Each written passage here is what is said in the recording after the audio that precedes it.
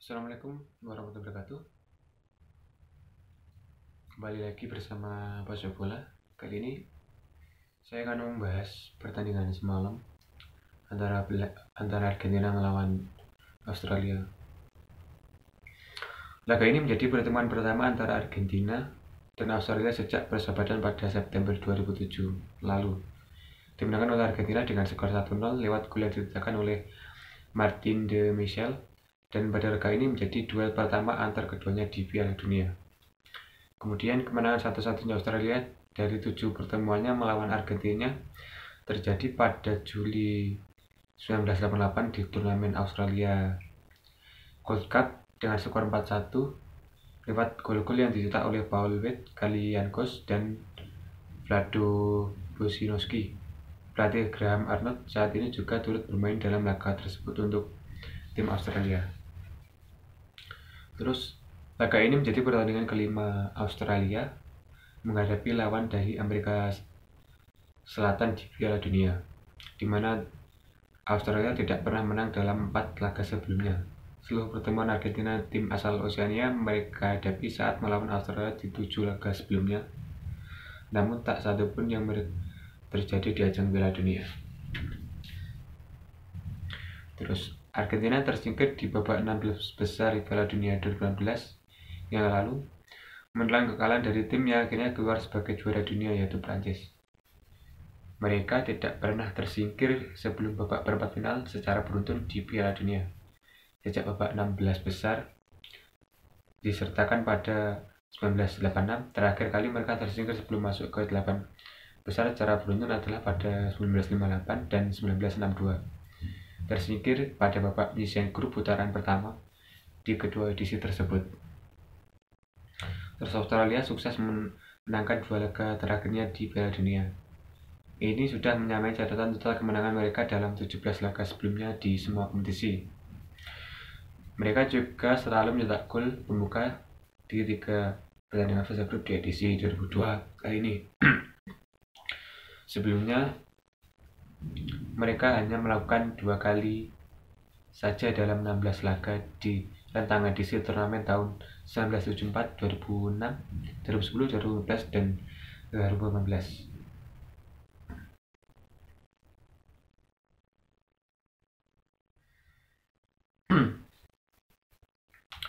Pertandingan ini dikemenangkan oleh Argentina dengan skor 2 satu gol Messi di menit 35 kemudian gol Julian Alvarez di menit 57 kemudian penyama apa memperkecil kedudukan oleh Enzo Fernandez di menit 77 gol bunuh diri. Di atas kertas Argentina menurunkan formasi 4-3-3 di mana Emi Liano Martinez sebagai penjaga gawang, kemudian back tengah Cristian Romero dan Nicolas Otamendi, kemudian back kiri Marcos Acuna, back kanan Nahuel Molina, kemudian di gelandang ada Enzo Fernandez, Alexis McAllister, sama Rodrigo De Paul. Kemudian di depan ada Lionel Messi, Papu Gomez, dan Julian Alvarez. Sementara Australia menurunkan formasi 4-4-2 di mana back kipernya Matthew kemudian back Aziz Bate, Kay Ross dan Harry Soter sama Milos Devinek kemudian gelandang ada Keanu Bagus, Jackson Ervini, Aaron Moy, Matteo Loki, kemudian depan ada Michael Duck sama Riley Wigre nama-nama seperti Lisandro Martinez, Lautaro Martinez, Dybala yang Di Maria dicadangkan oleh Argentina pada laga ini.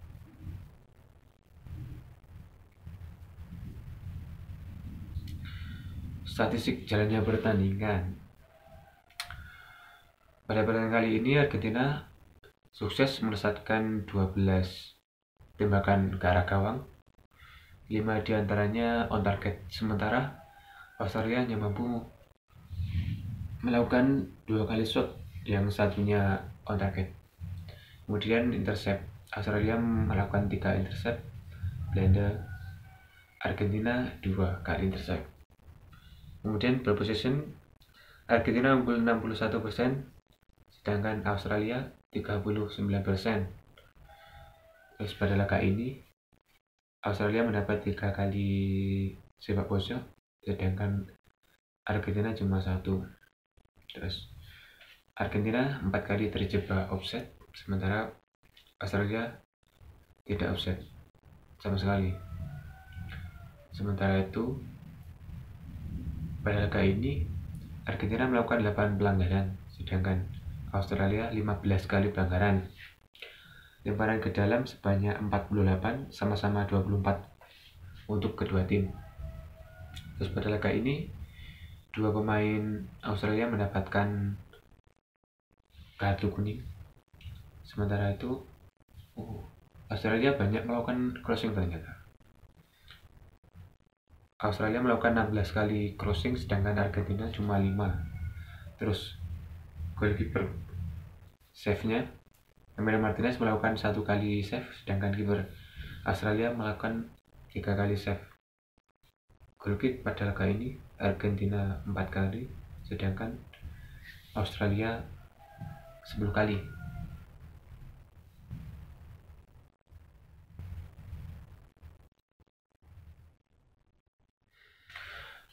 jalannya pertandingan. Di menit 15 Irvin mendapatkan kartu kuning di menit 15 dan terus di menit 35 Argentina berhasil mencetak gol oleh Lionel Messi umpan dari Nicolas Otamendi di menit 35 sementara De Genek mendapatkan kartu kuning di menit 38 pemain Australia. Kemudian di menit 50 jadi berganti pemain Lisandro Martinez masuk menggantikan Andre Gomez di menit 50 kemudian di menit 57 Argentina berhasil menggantikan keunggulan dari gol dari kesalahan kiper Australia berhasil dimanfaatkan oleh Julian Alvarez untuk menggunakan keunggulan. Kemudian Australia melakukan dua pergantian pemain. Hastings masuk, keluar bagus, Godin masuk menggantikan McGree terus bergantian lagi Argentina di menit 71 Lisandro Martinez masuk menggantikan Julian Alvarez terus bergantian lagi Argentina di menit 72 Tagliafico masuk keluar Acuna. Terus bergantian lagi di menit 72 langsung tiga pergantian pemain dari Australia. Ekereke masuk menggantikan Dekene kemudian Laren masuk menggantikan Duke terus Cole menggantikan lagi. Terus di menit 77 Enzo Fernandez minta gol bunuh diri dari sepakan pemain Australia kemudian berganti pemain lagi Argentina di menit 80 Montiel masuk menggantikan McAllister kemudian Palacios masuk menggantikan Molina terus dan sampai peluit panjang di tip Argentina berhasil menangkan pertandingan dengan skor 2-1 dan lolos ke babak 8 besar. Argentina sudah ke dalam 5 dari 6 penampilan terakhirnya di babak 16 besar Piala Dunia. Pengejalan itu mereka catat pada 2018 saat dikalahkan tim yang akhirnya keluar sebagai juara Prancis. Babak 16 besar tetap menjadi pencapaian terjauh yang bisa dicapai Australia di Piala Dunia. Mereka juga tersingkir di fase ini pada edisi tahun 2006 saat dikalahkan tim yang akhirnya keluar sebagai saat melawan Italia tim yang akhirnya sukses mengangkat trofi juara. Kemudian Australia selalu kalah dalam empat pertandingan Piala Dunia terakhir melawan wakil Amerika Selatan, di mana seluruh perlawanan tim yang berbeda yaitu Brasil di tahun 2006, Chile di tahun 2014, Peru di tahun 2015, dan Argentina di tahun 2022.